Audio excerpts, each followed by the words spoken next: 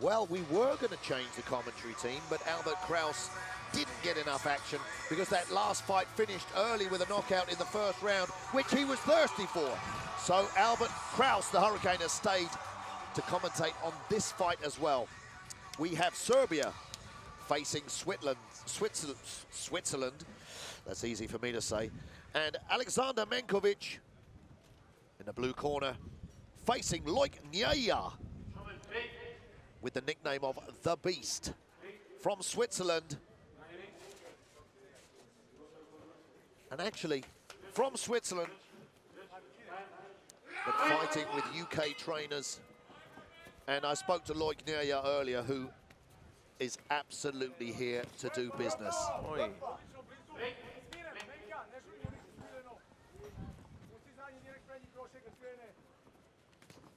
Well, see those strong guys. again, they're throwing knockout punches Yeah, early the, on. The weight's going up, and you see there will be more. Uh, That power. was Oh, a yeah, lovely hey, right yeah. hand oh, that caught Njeya. oj. Well, this is the problem. When you get big Yeah, and strong, you have to fight opponents who are big and strong. yeah.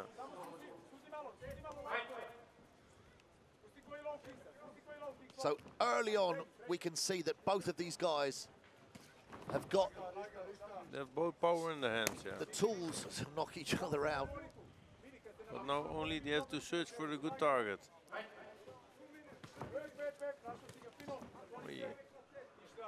And there's so much more to fighting than people realise. And it, it gets more intricate. Oh, spinning back fist there from Menkovic. There's so much more to it. Just not, you know, it's not just about knowing technique. Oh, there was a, a knee there. Did that drop? Yeah, yeah. I think the referee's going to give him a count. Yeah, He is. Well, Njeya disagrees with it, but I'm not sure I do. yeah, I think he had. But already before he get a punch, that he go a little bit wobbling down. Straight right there as they come together from Menkovic.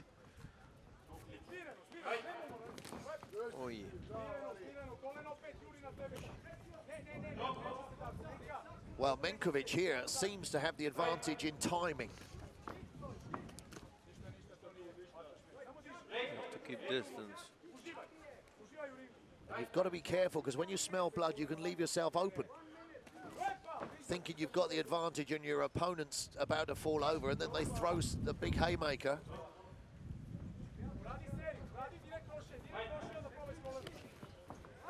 Well, Yaya lands something of his, his own there. It's a little bit untidy now. Uh, Yeah. They, they don't know where's the, the right the right spot, I think. They're throwing punches and kicks without to choose a good target. The, the precision has to be better. Yeah. I think, yeah, if Menkovic stood back, regained his composure, and I think the minute's rest in between this round is going to allow him to do that. Nice spinning back Yeah. fist, which landed. And he's going down again. No. Well, a punch landed there. Oh, Yaya is right on on wobbly bell. legs. And Right on the bell, yeah, interestingly, he yeah. could have got another count there right at the end of the first round. And no doubt in anybody's mind who wins that first round. Goodness me. And uh, if you, I mean, you can't judge a book by its cover in this game. If you had to look at these both these guys and say who's the most power, who's the more powerful, I, I would say your money's going to going to be on Loic Yaya. I mean, look at him. Looks like he's chiseled from rock. Yeah, but But it doesn't if you tell you don't the hit the right story. spot, then it's you see there's also a little bit. Um, Yep, on wobbly legs yeah, yeah, before that. Now, over in Loic Njeya's corner, it looks like they might be working on a cut on his right eye. okay, he has a cut. I didn't see it. Um, well, he comes out. He, well, I'm not. I don't want to say too much, but he looks like he's still on slightly wobbly Yeah. legs. So Menkovic here is going to be full of confidence. Loic Njeya comes out firing. And sometimes your best defense is to attack. Yeah. And he come from brawling now. Well, Menkovic, when he gets his timing and distance, has got some crisp punches.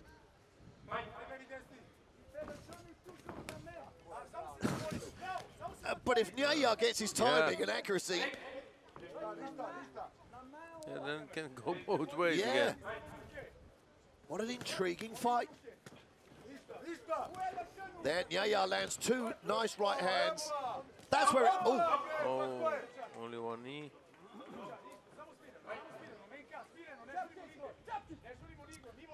and you, well, body kick there. You'd like to see one of them just step back and set something Yeah. up. But they go too much to against against each other. So one step back and look for the distance.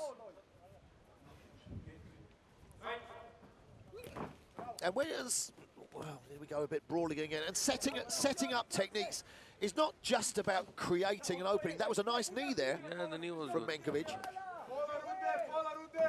But if you throw a, let's say you throw a one-two, and your opponent dodges to the left every time you throw your right hand, Yeah. you throw it to set up a knee or a left hook or a high kick. But they don't they don't throw one one two, only a one. A one bomb they want to throw.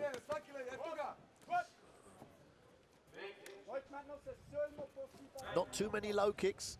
In fact,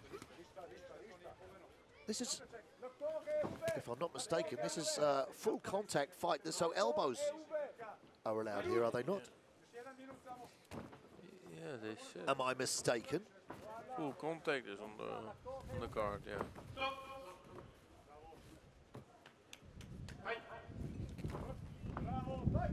We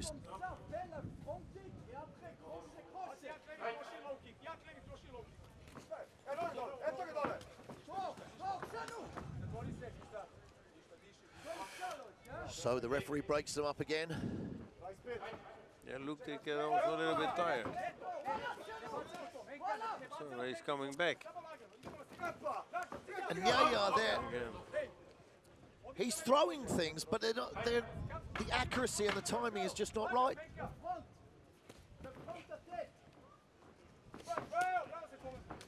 Oh, nice left hook there from Menkovic. Now the end of that second round, which is actually a difficult one to score. It was a little Yeah. bit untidy. Um, well, that first round, in fact, I gave it a 10-9. It should have been a 10-8 because uh, there was a Yeah, count. it was an eight count, yeah. So that second round, how do we see it? Much closer on the Yeah, judges' yeah. scorecards. But I think the crisper work is still coming from Menkovic. Yeah, but in the end, uh, And I never like to score around a draw. Ever. no, no. But could, well, I think you probably find that the judges will score that a 10-10. But I'm not going to. I can't do it. No, we will see what. I can't bring myself We'll to bring the score last a 10-10. I'm going to give that a 10-9 to Menkovic. On my unofficial, let me reiterate, unofficial scorecard. So, spinning back fist there.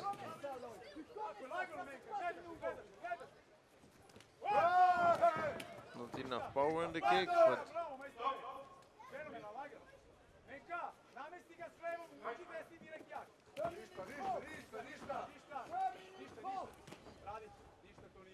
So, they don't. This is KWU full contact rules, which is K1 rules. So no elbows, and you notice the referee breaking them up whenever they clinch. clinch. your rules is with elbows. Yes, yes, yes. Yeah. Um, oof, oof, no right hand there from Njeya. Yeah. So still dangerous. This is the third and final round. And I have to say, Albert, the action's been so fast tonight in every single fight that they're going very, very quickly. Oh, And it just yeah, yeah. shows you. Yeah. but they miss a lot. They miss really a lot. Well, I'm just wondering what the corners have, have- advised the fighters to do in between the rounds to fine tune them. Yeah. I think. Uh, And you see there the when- guy get a little bit tired. But even there, when, when he throws that stiff jab to stop Njeya coming forward, he could put a low kick on the end of it, Yeah.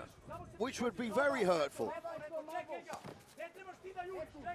But they miss too much. They're both tired now. Yeah. It's a third round. We're coming up to a minute 20 left. Oh. Ooh, big swinging right hook there from Yaya, which if it landed could have been devastating, but Menkovic ducked underneath it. Now you've got to give it everything, guys. Yeah.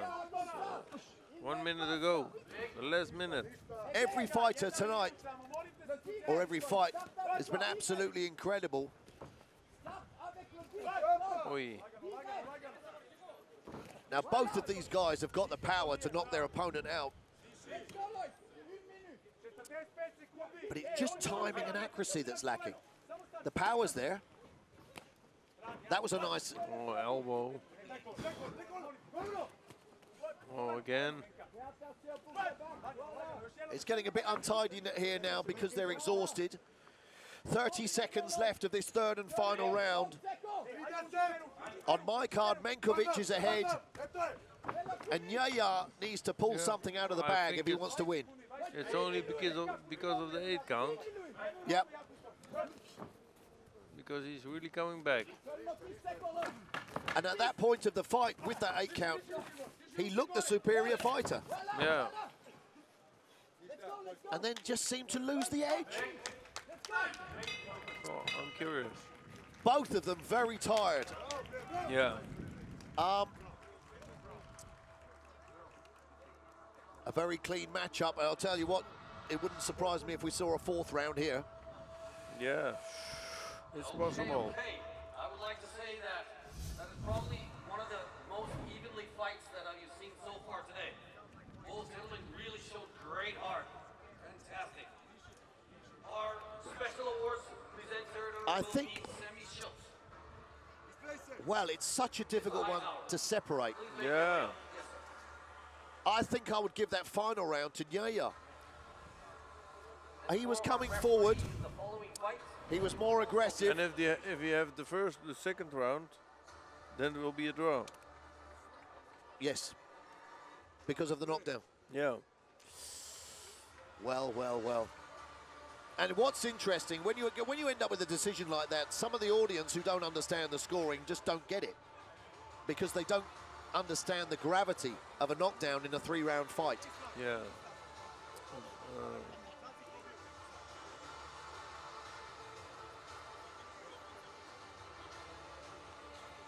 So it's getting a little bit tense here as we wait for the decision. And Uh, takes long. from the so here we go. One. 30 to 26 in Oh. favor of the blue corner. Yes, Menkovic. Judge two. 30 to 28. Judge three. 28 to 28 in favor of the blue corner. Aleksandar Well, Menkovic. Aleksandar Menkovic wins it. I don't know how you can say 28-28 in favor of him. Yeah, yeah. that's- That's not But, uh, possible, but uh, But Menkovic wins it. I think that's a fair decision. yeah, for um, sure. Yeah. Both of those guys can go away and learn something from their performance. Yeah. Uh, but you know, when you when you fight an opponent who's when you're that evenly matched, and it cancels out your best factors, it can dull you down a little bit. yeah. But conditioning did play a big part in that fight.